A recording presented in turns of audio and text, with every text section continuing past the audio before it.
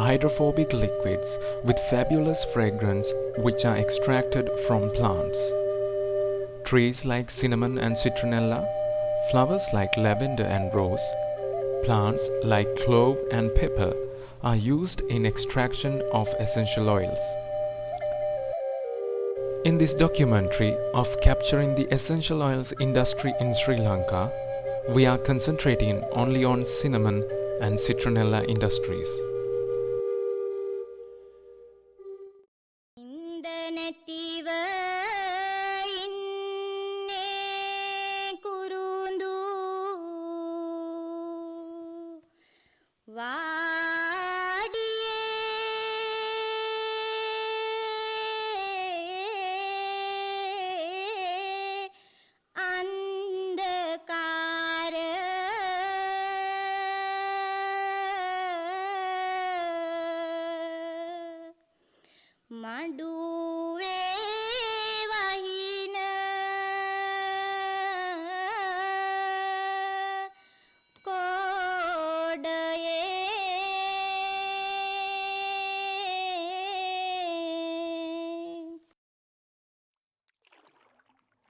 Sri Lanka is world famous for production of spices from the ancient times.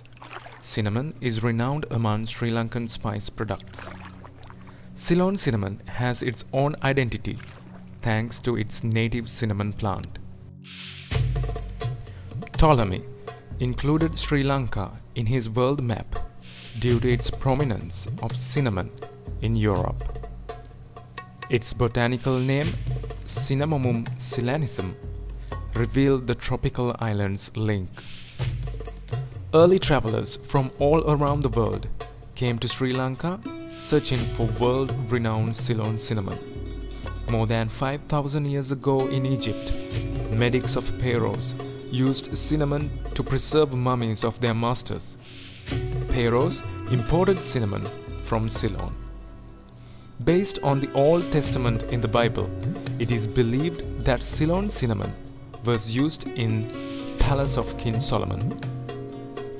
Western travelers like Ibn Battuta, Marco Polo, and Varthema had praised the quality of Ceylon cinnamon in their records.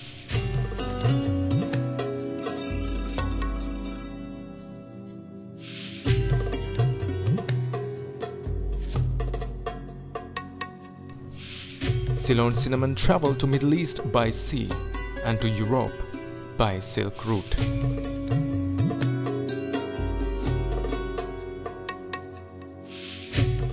Herodotus, the revered historian, placed Ceylon cinnamon in his records.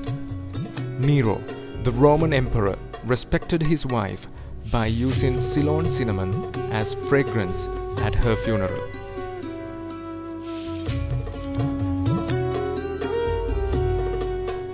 The recognition of Ceylon through cinnamon brought our country good fortunes and bad consequences. The Europeans waged war with each other to gain the cinnamon monopoly, changing the political direction of the country. The monopoly of cinnamon trade held by Arabs until the end of 15th century is now being challenged by Europeans. Therefore, the Europeans who had no idea about the world map tried to find a sea route to Asia. Columbus, Magellan, Bartholomeus, and Vasco da Gama pioneered this campaign with the patronage of Henry, the navigator of Portugal.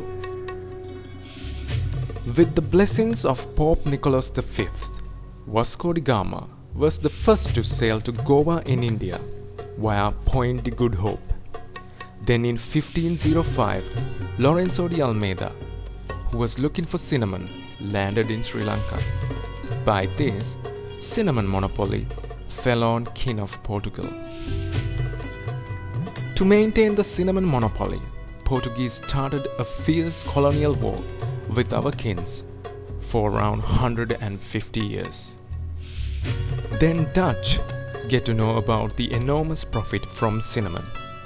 The Dutch East India Company, the so-called VOC of Holland, challenged Portuguese by the mid 17th century. the maritime stronghold of Portuguese, was completely crushed down by the VOC company. Then Sri Lanka became a Dutch colony managed by a company. By the end of 18th century, the East India Company of England waged war against Dutch and once again Sri Lanka became a trade colony of an English company.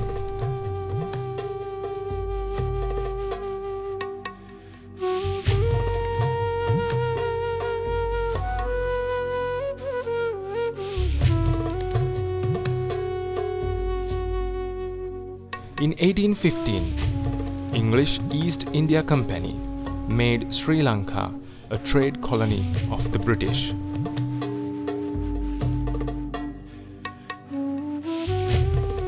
In 1833, English Parliament liberalized the cinnamon trade.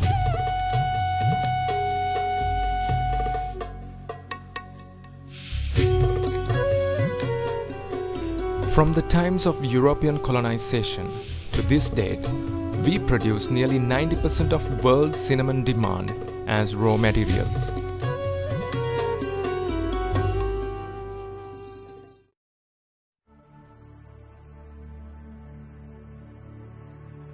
Cinnamon is the biggest export revenue generating native plant in Sri Lanka. Though cinnamon can be found in most parts of Sri Lanka, it is grown as cash crop only in southern and western provinces.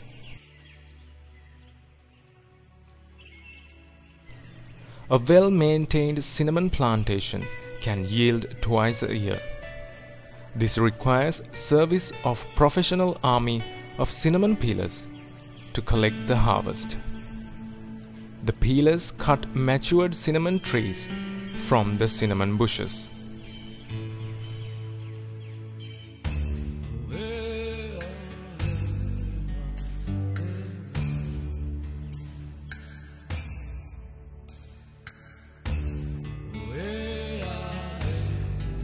Then, the twigs and leaves are removed from the tree.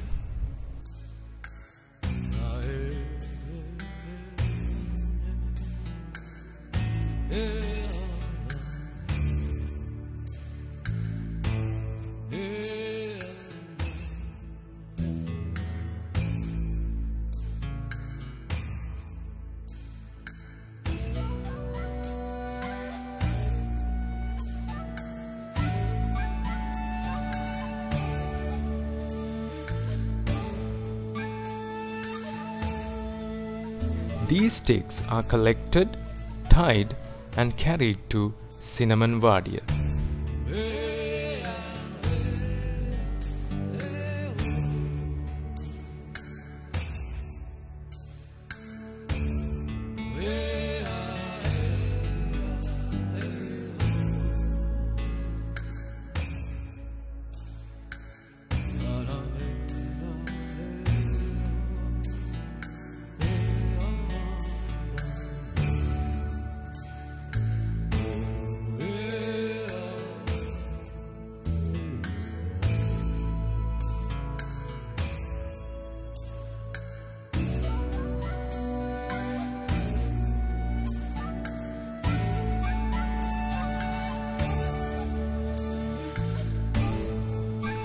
The twigs and leaves are collected and after a short post-harvest preparation are bundled into big stacks. This process of gathering is called ahuru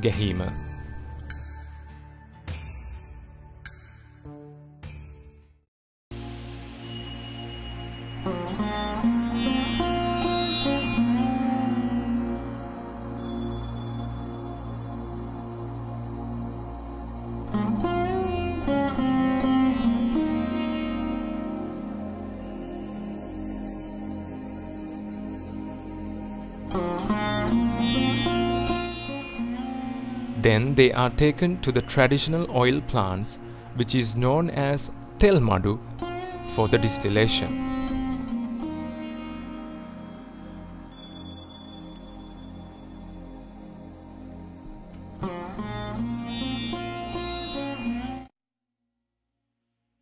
කුරුඳු ගහෙන් සම්පූර්ණයෙන්ම දැන් කොළ ඉඳින මිනිහා කොළ ඉඳිනවා කුරුඳු දාන මිනිහා කුරුඳු දාන වෙලඳා කුණ කට්ට දානවා ඒක කියන්නේ කුරුඳු ගහේ අහ ගන්න කිසිම දෙයක් නැහැ මේක වැඩ කරන්නේ සාමාන්‍යයෙන් කියන්නේ දැන් මිනිස්සු දාලා කුලියට කොළ බඳිනවා කොළ බැඳලා ඉවරලා ගෙනහැල්ලා මෙහි වඩිය මේ දාලා එක වාස්සලා යන්නේ කරලා මේ භාජනයට දානවා Still, we are using primitive traditional techniques to produce oil from cinnamon leaves in Sri Lanka.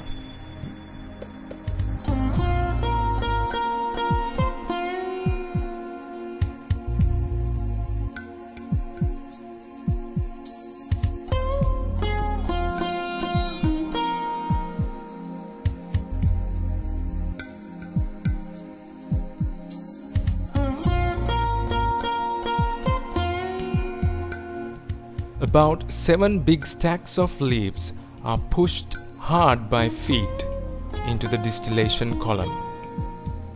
The distillation column is called as Kolahattiya. Sealing of this traditional distillation column is done by pasting mud.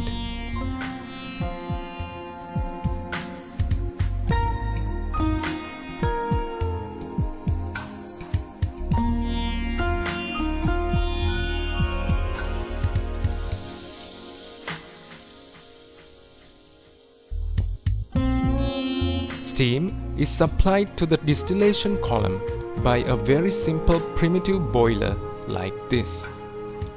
The extracted leaves of a previous process are used as fuel in the boiler for the next round of extraction.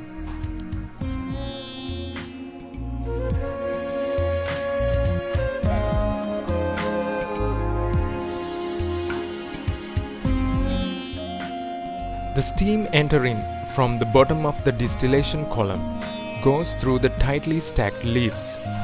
Here, the cinnamon oil extracts into the steam.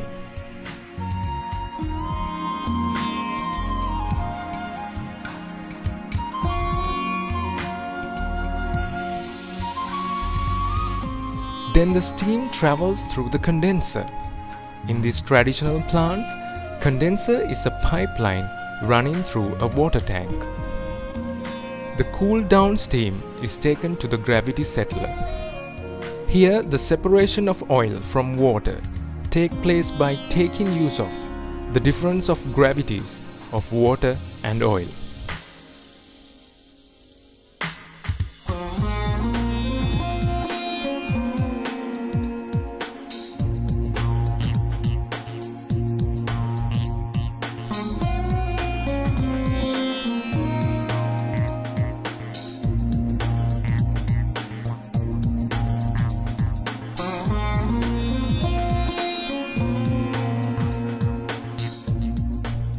It is very important to use the standard equipment for the separation.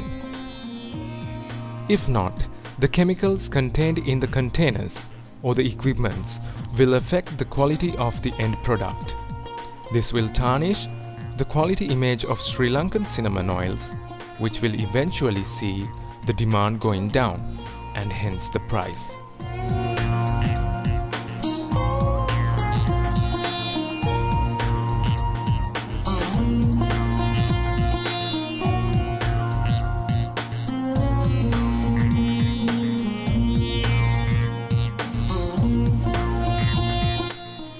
We call this process steam distillation in chemical and process engineering.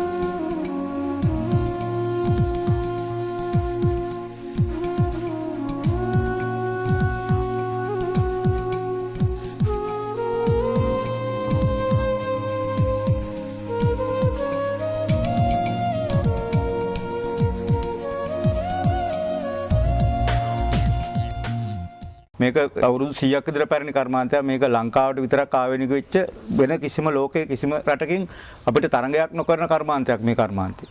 මේක දියුණු කරගත්තොත් අපිට අපේ රටට ලොකු ලාභයක් ලැබෙනවා.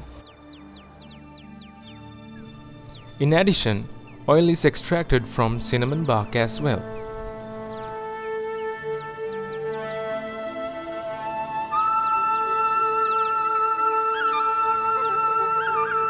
Trees, after twigs and leaves are removed, are carried to cinnamon vadia.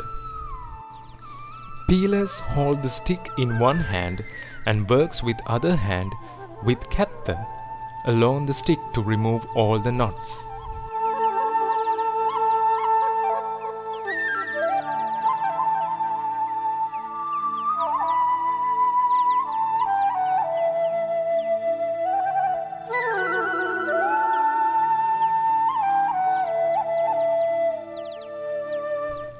To ease the scraping, the stick is rubbed with a copper rod.